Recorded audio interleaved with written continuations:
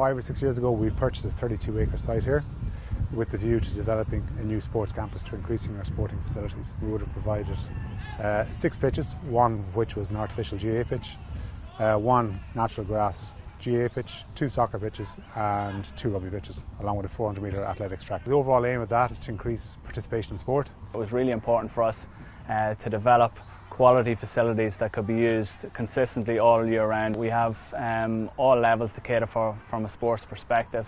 Uh, so from your recreational athletes to your really competitive athletes that are competing at the top level. From a player welfare perspective, it's really important that the surface that we're using uh, don't add additional stress to the body. We awarded uh, this particular project based on a competitive tender process and Tony Patterson Sports Ground was the highest scoring contractor based on that tender process.